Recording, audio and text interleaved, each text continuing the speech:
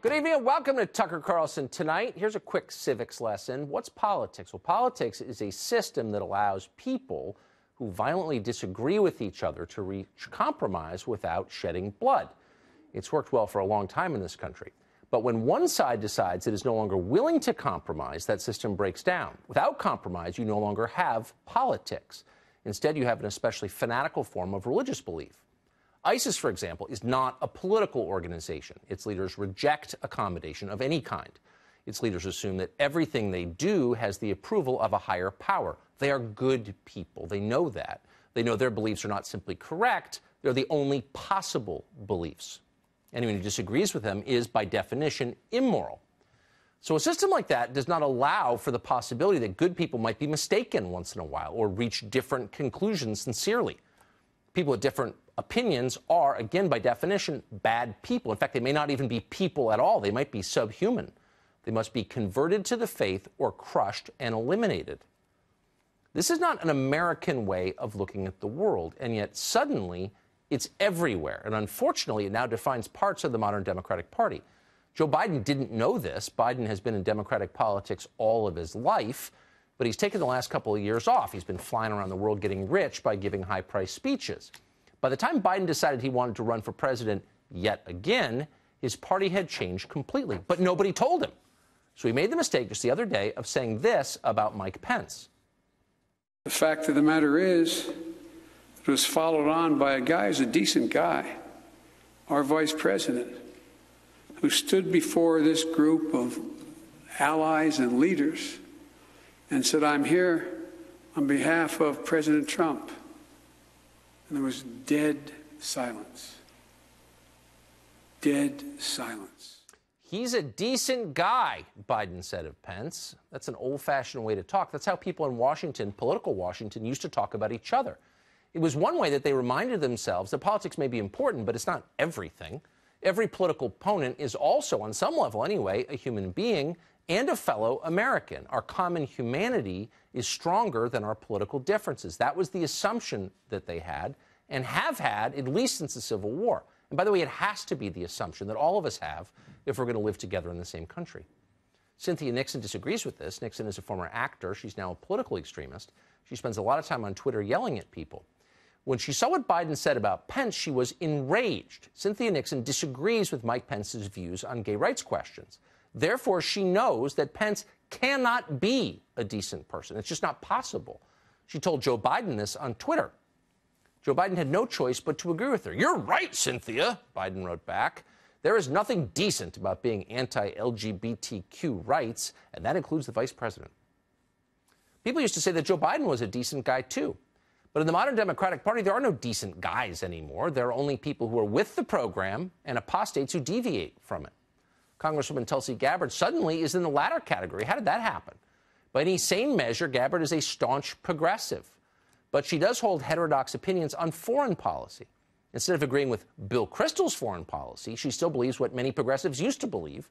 She wants to keep the U.S. out of pointless foreign conflicts and instead focus on domestic concerns. And for having that opinion, she's almost been expelled from her own party. Watch.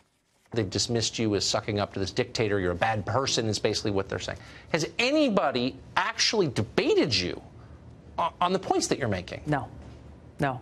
Constantly, I see, uh, again, people from both parties instead.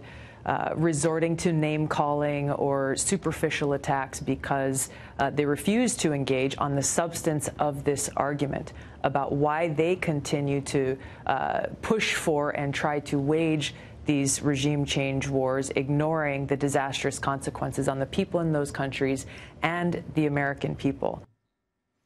So that's suddenly a very controversial thing to say in the modern Democratic Party, a place where there is no room for dissent anywhere on any issue. On Wednesday, for example, a handful of Democrats joined with Republicans to add an amendment to a universal background checks bill in the House. That amendment would require reporting a gun buyer to ICE if that buyer is an illegal alien, a group that is not allowed to buy guns in the United States. In a closed door meeting after the vote, the Democrats who joined with Republicans on that were reportedly denounced by party leadership for their racism. The party's new ideological enforcer, Alexandria Ocasio Cortez, warned that Democrats who helped Republicans in any way would go on a quote list and would have primary challenges next time they ran. So that's what extremism looks like. The enemy is 100% wrong, and we are 100% right, always. They are going to hell, and we're saved. What is happening here is a sin against God. I believe that. Jesus said, Suffer the little children unto me. He did not say, Let the children suffer. A time in which we celebrate the birth of Jesus Christ. Thank God there wasn't a wall that stopped him from seeking refuge in Egypt. Thank God that wall wasn't there. And thank God there was an administration like this. And while we're doing the Lord's work by ministering to the needs of God's creation, uh, they are ignoring those needs, which is to dishonor the God who made them. Mm-hmm. We're doing God's will. We're on God's side. God loves us. God does not love the other side. They're sinners. They're going against God's will. And in fact, you know what? They could be Nazis. This is the United States of Germ- United States of America. It isn't Nazi Germany. Bottom line, Donald Trump increasingly looks like Hitler in Nazi Germany. Much like Hitler took over the Nazi party, Trump has taken over the Republican Party. If you vote for Trump, then you, the voter, you, not Donald Trump, are standing at the border like Nazis, going, you here, you here. They are the tactics that have been used through the through history by the worst purveyors of pure evil, including slave traders, including Nazis, including terrorists.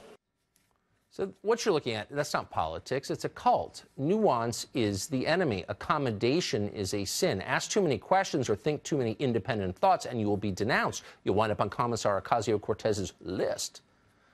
We reject this completely. It's totalitarian. It's also stupid and boring.